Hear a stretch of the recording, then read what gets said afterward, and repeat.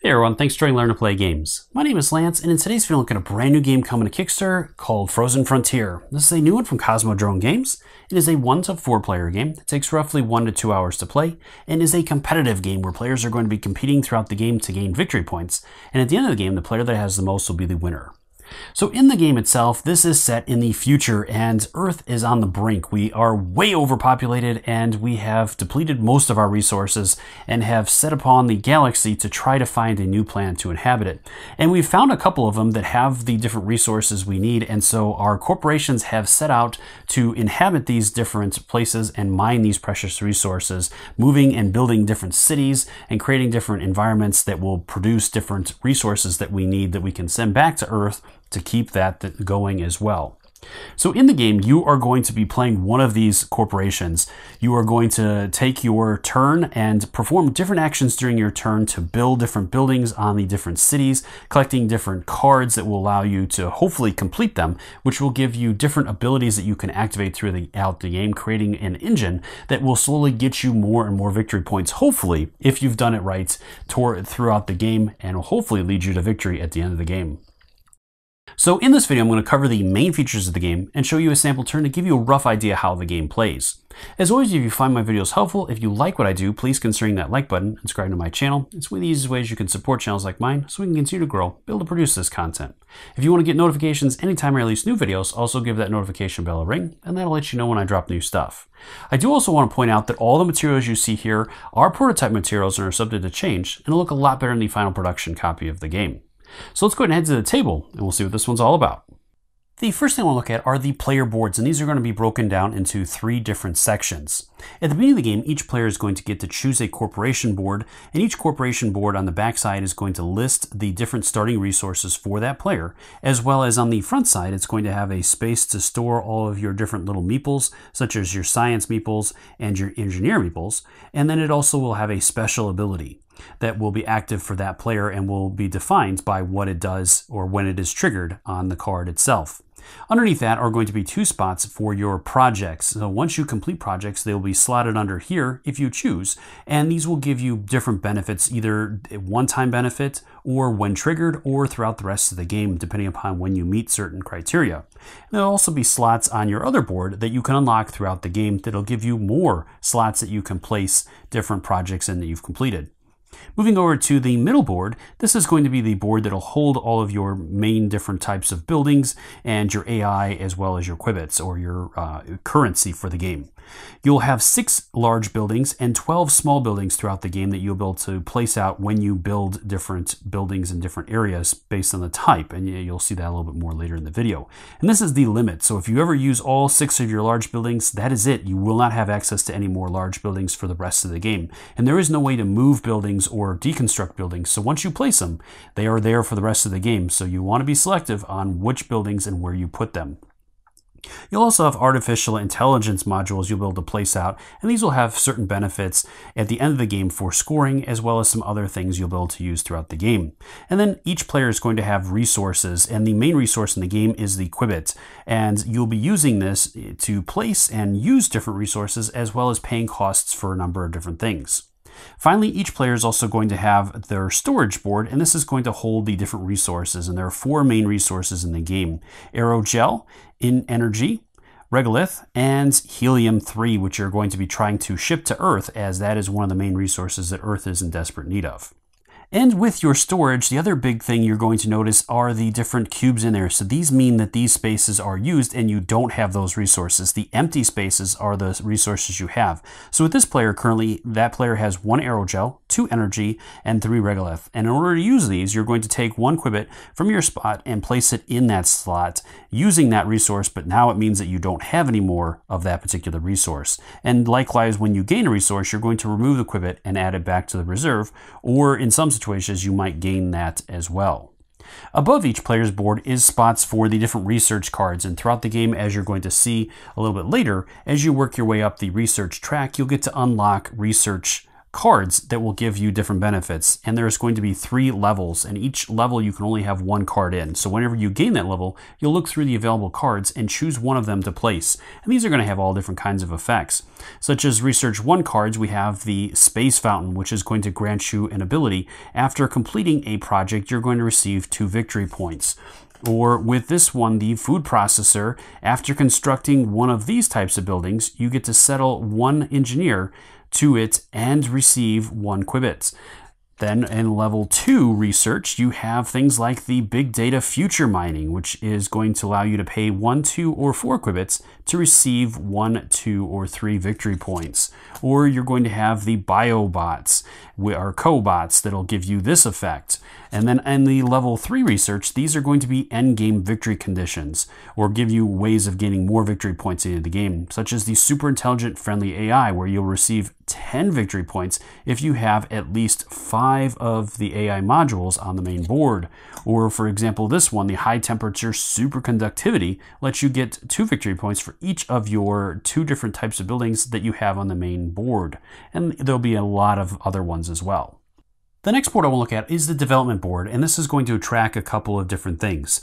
The levels for both industry and science that each player has. At the beginning of the game, most players will start at the bottom of these tracks, and then throughout the game, as the players complete different things, such as building different buildings, they are going to gain levels in these different tracks, moving their tokens up along these tracks. At the end of the game, you're going to get victory points based on where your tokens are on these different tracks as well as throughout the game, each time you pass one of these white thresholds, you're going to receive the benefits next to it.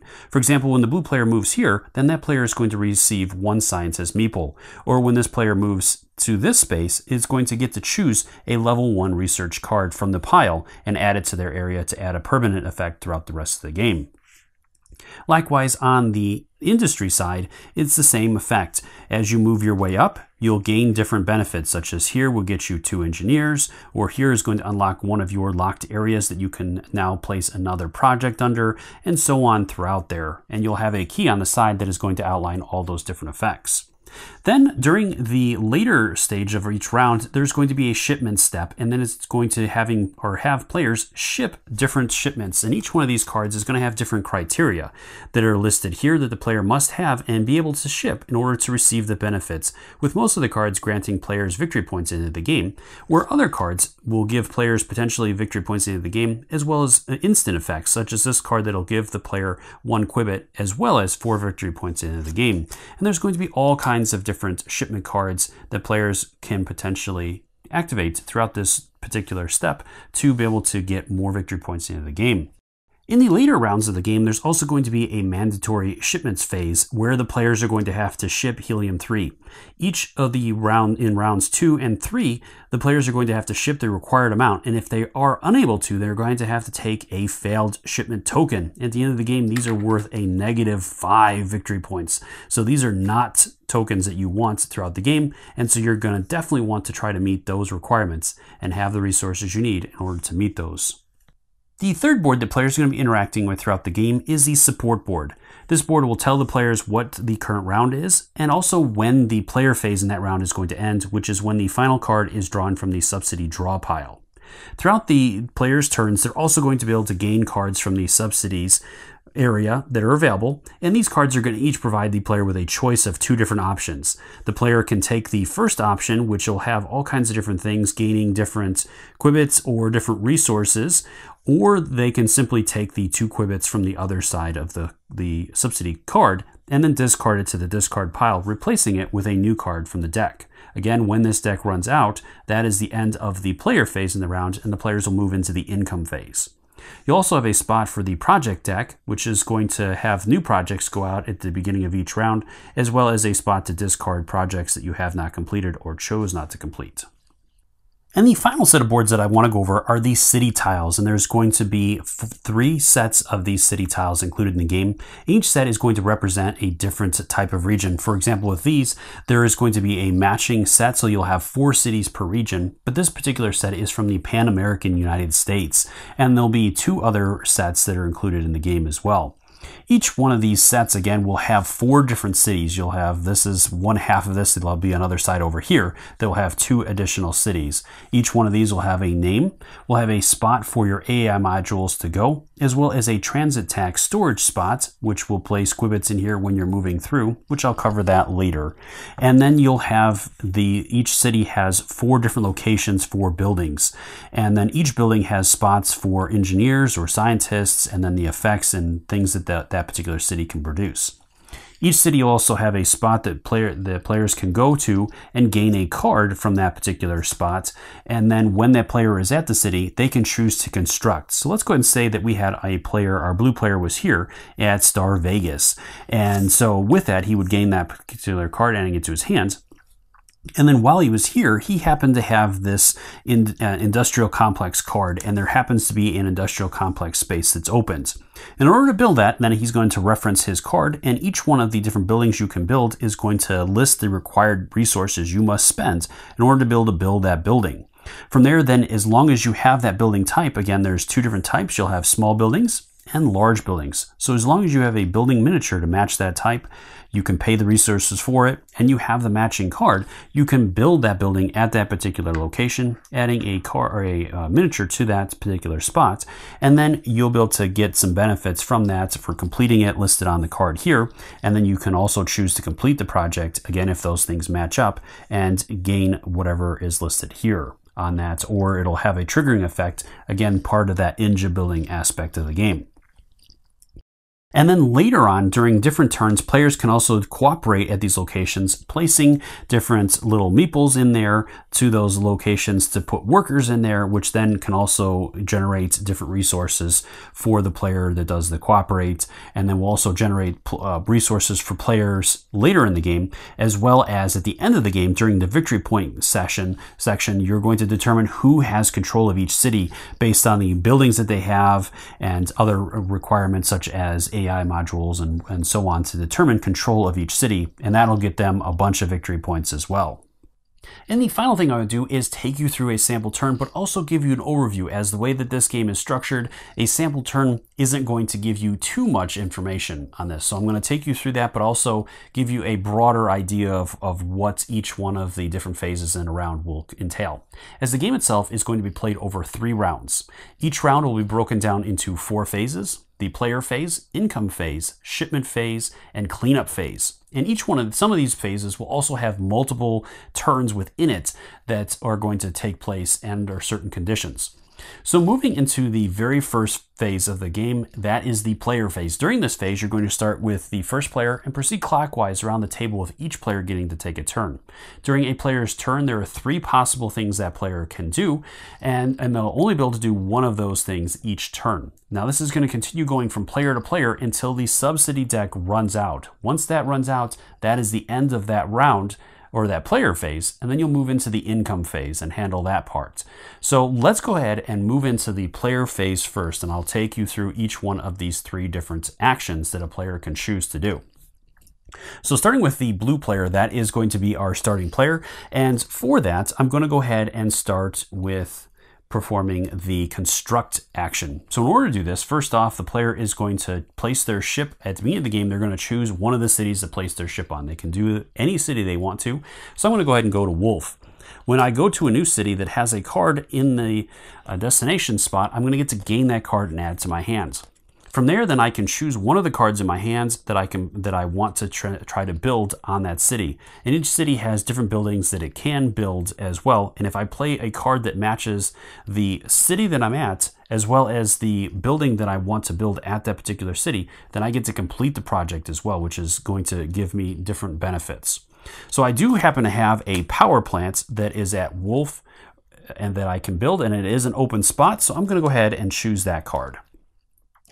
From there, then I have to spend the resources required in a power plant requires me to spend one aerogel. And I do happen to have one aerogel for my in my supply, so I'm going to go ahead and take a quibbit from my research area or from my supply area and place it in the aerogel, spending that resource. Then I will take a small building, as this is a small building, and place it in that location, building that, that building. And that will complete that portion of it. Now, anytime you complete a or build a building in a different location, you're also going to gain some construction bonus for that. And with me, I built a power plant, which is going to move me up one space on the industry track. So that'll move me up here. And then because of that, I'm also going to gain two engineers as a bonus for that. So I'll take two from the supply and then I'll place those in my area as a bonus. Then if I had any other abilities or anything, project completion abilities or anything that would be triggered, I would handle those at this point. Now my player does have a, a ability, but that's only going to apply to training centers and research stations. And I didn't build either one of those at this point, so I don't get any bonus for that. Now that I've completed this, then I handle the next part of that. With this being a again the location and building that matches, I get to complete this project, sliding it under one of my open areas, completing it, and then being able to activate that ability for the rest of the game or whatever it is. This particular one it says after advancing on the industry track, I also would gain one energy resource if I'm able to. Now this only can be triggered one time per turn, and so the first time I would go up on the track, that's when I would gain it, no matter the number of times I go up on the track during any particular player turn. But that already happened, so I won't trigger this at this point. From there, that is going to end that player's turn, and it would move over to the next player in clockwise order. From there, the next example I want to look at is a collaborate action. For this one, I normally you wouldn't necessarily do this at this early point in the game, so I'm going to go ahead and populate a couple more things to show you a little bit more about this example. So we'll go ahead and say that multiple turns has passed, and the blue player has added more buildings to this particular planet, really trying to gain control of it. And with the yellow player, I'm going to go ahead and say that that player has a couple of extra engineers to really flesh out this example. So at this point, the yellow player notices that this player has really been focusing on that planet and has a number of different buildings at that planet that this player could take advantage of and gain some much needed resources. So we'll go ahead and say that, that, that the yellow player has moved to this particular planet. And now that they're at this, this planet, they have a, a number of different options. First off, they can choose to place a meeple in each one of the cities. They can do one meeple per city. So for example, this one, they could not drop two engineers on there. And for each meeple that they drop, they're going to gain a victory point or a number of victory points based on the type of meeple that they're dropping. For each engineer, they're going to get one victory point. And for each of the scientists that they place down, they're going to get two victory points. So they picked up four victory points by doing this. And each time you gain victory points, you're going to place it face down on your area. Now you can choose to look at that at any point during your, their turn or your game.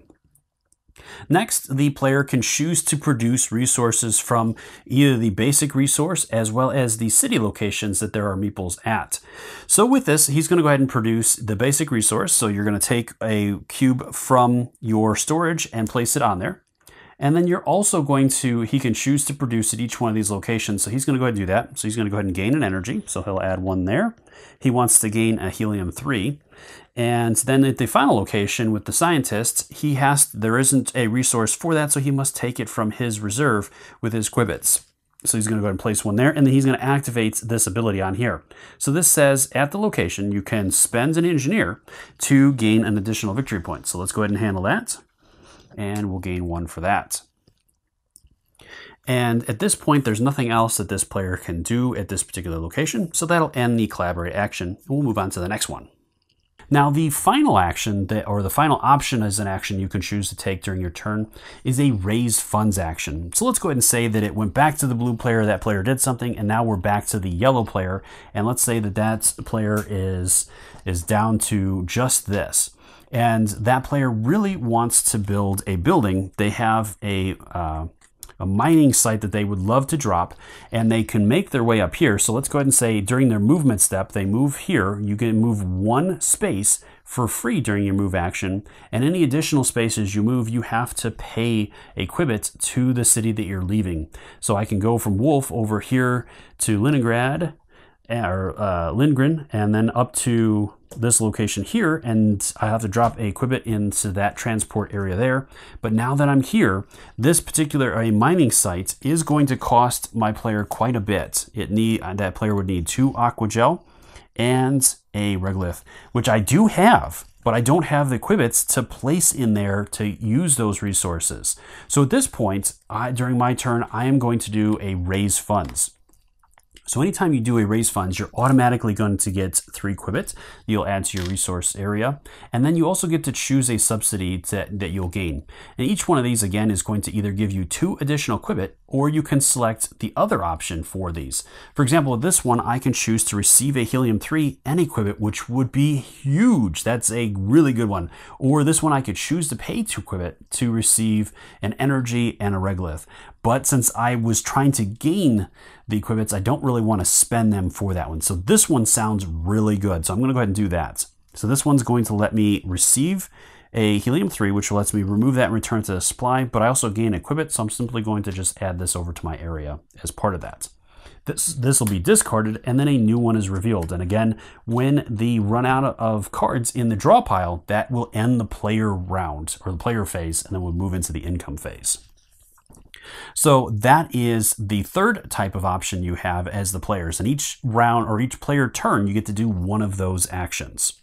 So from here, let's go ahead and say that that then we ended the round or the player round or player phase. So we move into the income phase. During this phase, the player's buildings are going to potentially give them quibbits. So that was when I was talking about how this can have some negative effects for the yellow player. This is what I'm talking about here. So any or any, any quibbits that are on the basic resource are going to be moved to the transport tax storage section. And if there's a transport building there, that player would receive those particular quibbits. Then the player is going to receive any quibbits that have been attached to any of their buildings during their turn. So now all of a sudden, the blue player has received three quibbits from the yellow player basically taking those actions on those buildings. Then you would carry out any other additional abilities that you had that were would be resolved during this step, and then you're ready to move on to the shipment phase. So during the shipment phase, the players are going to take turns, starting with the player highest on the industry track and then moving from there. So blue will go first, then yellow, and then it would go back to blue. In higher player games, again, it'll be based on, on those different parameters. From there, then the player is going to choose one of the shipment cards that they wish to carry out if they're able to. Now, if they can't, then they simply would pass and it would go to the next player who could choose to complete one.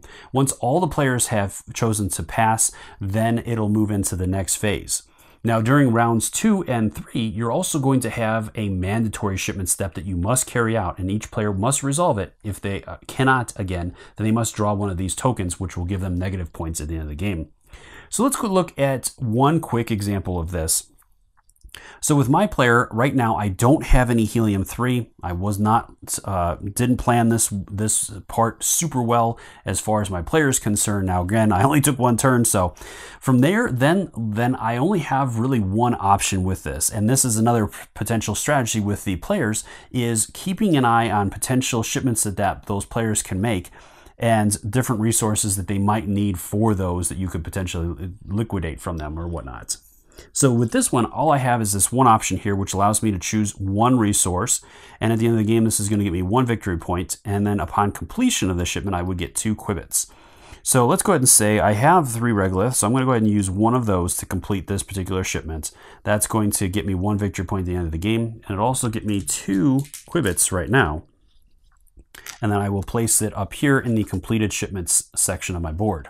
From here, we would move over to the yellow player, and that player does have quite a bit of resources, so they could potentially ship out a number of different, or complete a number of different shipments. And again, it would go back and forth until both players have passed or all of the shipments have been handled. Once they've resolved that, then there is a unscheduled shipment. So some players will be able to get shipment cards throughout their turns, and they can choose to complete those at this point if they have the resources for those. Once both players have passed or there's no more shipments to take care of, then you would move into the cleanup phase where you're going to reshuffle the discard pile for the subsidy deck. You'll move the track, the marker forward one space. You're going to refill any spots on the board that don't have a card, a projects card on them.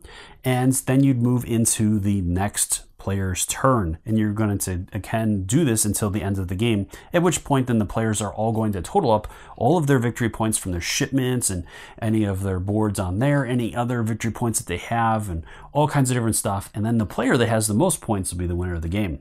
So I hope this gives you a basic overview of how the game plays and gives you a better understanding on whether or not this is one you want to back on Kickstarter. As always, if you have any questions or comments, please post those in the comments section below and I'll do my best to answer them. Or swing by Kickstarter's comment section and drop any questions you have there as well. I'm sure the creators would love to hear from you and are more than happy to answer any questions you have. Until next time, I'll see you later.